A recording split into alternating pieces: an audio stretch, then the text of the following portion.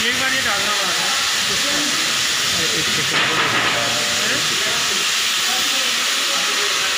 उसको लगा